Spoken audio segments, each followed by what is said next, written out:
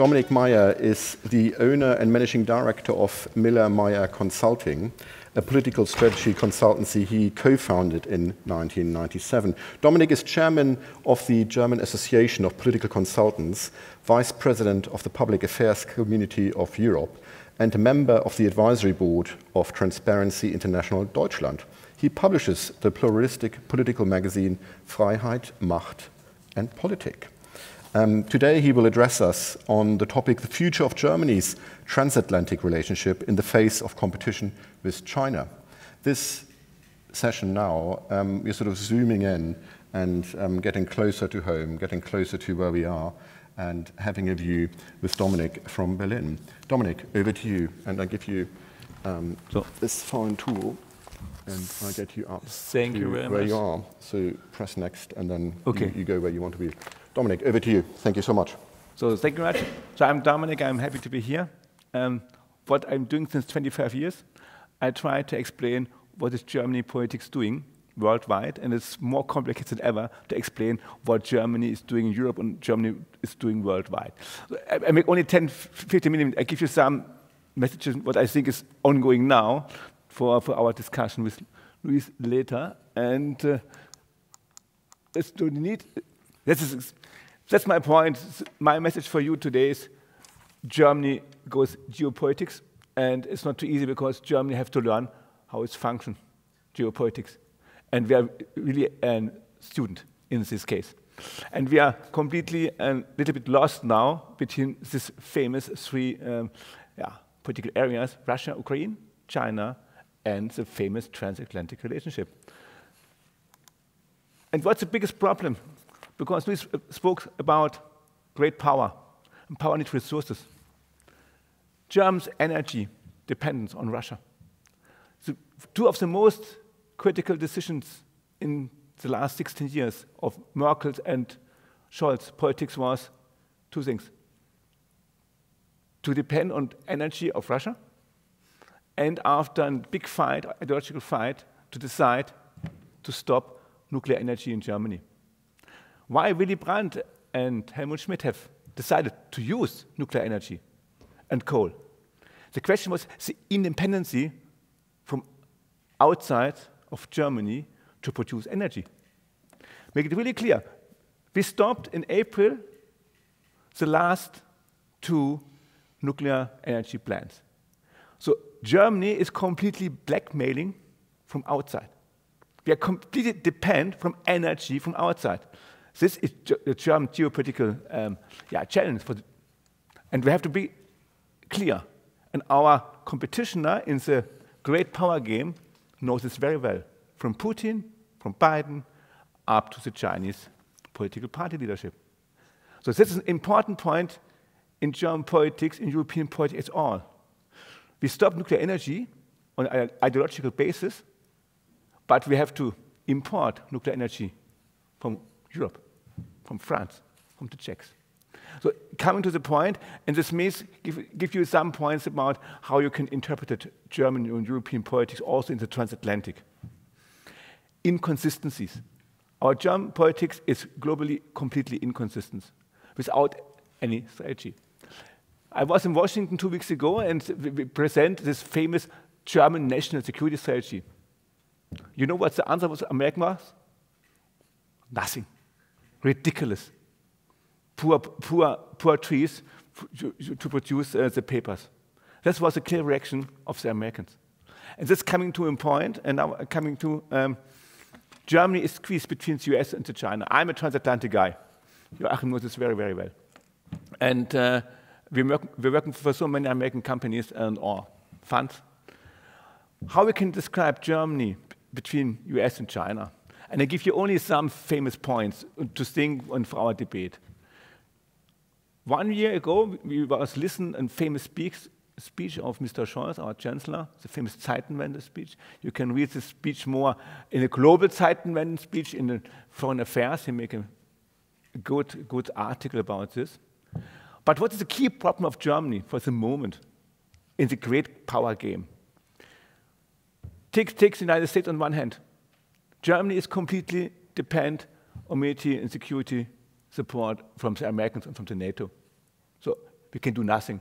We learn with Ukraine um, still to think about how we can use our army. And unfortunately, um, sometimes what you hear about German military system is all true. So we depend on one hand from the Americans, especially in the military and security aspect. And the big debate ongoing because uh, also we're still waiting for the famous German German China strategy. Big debate since years, nothing coming out like otherwise, because the, the big problem between decoupling and de-risking is um, if you speak with our, um, especially our automotive sector friends here about China, you know what's going on. So we are strong, depend in economic ways from China. And not only the automotive sector, takes the pharmaceutical sector, take, takes the chemical sector, and so on. So, so we are really squeezed. So what we can do in the middle? Good question, and we have no answer. The answer is um, daily politics, completely complicated. Um, and also take the China aspect of tech competition and chips, and the famous question about Taiwan. What is doing with Taiwan? What is American and, and Europe doing because of Taiwan? Nobody knows exactly what's, what's, what's coming up in the next 10, 5 years. So the Americans expect that, that in the next five years nothing will happen, but it's, not, it's really unclear, especially for the, for the chip for the, for the chip production side and, and how to bring, how can reintegrate um, the production, the chip production from Taiwan back to America. And on the other side, takes the United States, not only the, security and the, the military depends from us. Yeah, Biden has done also for you important this famous Inf Inflation Reduction Act. And I can tell you, we have a kind of pilgrim fathership of German big big companies, especially in the chemical and, and, and the pharmaceutical, to go to America. This is a great deal done, and the answer of the European Union is really much more complicated because Europe, uh, with 27 states to find an answer, is really, really not too easy. And last but not least, uh, the question of the transatlantic partnership is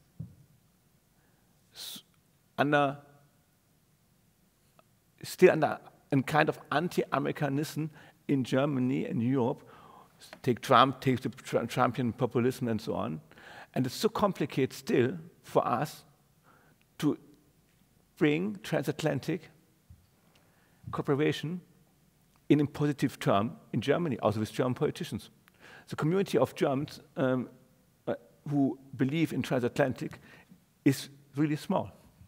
In the core team in German politics, we are not more than 100 people who believe in transatlantic and are decision makers. And important point because it's also for you from the investment side, because we're working so much together with think tanks. Germany has no think tank culture. We have two, or three famous think tanks paid completely by the state in the foreign politic area, two one. But this famous think tank culture we know from America, so we like revolving door systems, you are four years in government, uh, in top position, then the new government coming, you are back in the think tank, you can think about what you can do, you can relax a little bit and find new ways for creative way for next politic terms if you come back. So that's is also an important point um, um, I would like to mention. It's so complicated for Germans to find his geo geopolitical way. And the last chart, and then coming to the end, and then coming to what you can expect from us in Germany. More regulations than ever. And the biggest problem is not only Germany, I will come up to Europe. So many people, also my, my clients, complain every time. But make really clear 90% of all the important decisions about energy and economic are done in Brussels, not in Germany. And this makes also a kind of complicated um, um, balancing between to be global player if Germany depend 90% on regulation sometimes from Brussels. But if the state is coming back, we have three important issues. And also for Achim and, and, and for his brilliant idea, thank you, Achim, to be here and for this first important step to debate with you about the future aspect of sustainability and green transition. Yeah. We have three important trends for Germany, and the German future depends on, the, on these three trends. Climate change and green transition. This German government believes completely in this, 100%. And they make no doubt that this is the key element of the whole German politics in the next two years also. And of course, the Chinese challenge. And I think they understand, and we have big, big and complicated deb debates in the German government, in the, in the parties. But for me, and for you, I think it's absolutely clear. We speak about de-risking and not about decoupling. Not now, not in five years, not in 10 years. Also depend on the Taiwan situation. And the last and important point, also worldwide, also for you, is the changing of the labor market and the, and the, uh, and the rise of artificial intelligence. Nobody knows what is coming up, also for you, but this will be changed a lot of, uh, of our working issues, also the question of the changing in the labor, labor market. But the demographic aspect of Europe and um, the demographic aspect um, of the labor market situation changes also this completely um, political style, how to manage sometimes politics. And this was because I have to see the time, and we would like to come to the debate, um, Joachim.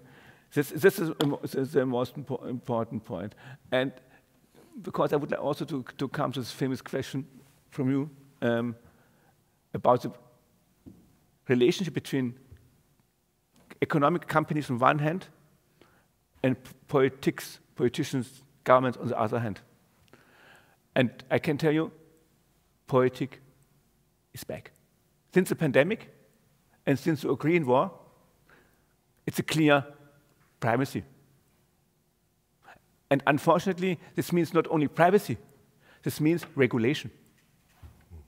And this German government and this European Union have dreams of regulation. They don't believe that human beings sometimes can, can do perhaps things better alone. Take the famous energy laws in Europe and Germany in the last, in the last two, three years. Uh, and this, I think, is a new development also for you, and also especially for risk assessment for all your activities. You know, we can, be, we can debate about ESG, what does this mean for companies, what does this mean for, for new bureaucratic systems, especially taxonomy um, questions up beginning of next year. So that is a clear message. The state is back, regulation is back, more reg regulation forever. German is a student in geopolitical um, um, learnings. And I'm optimistic for my country. That's that. Thank you very much. Thank you, Dominic.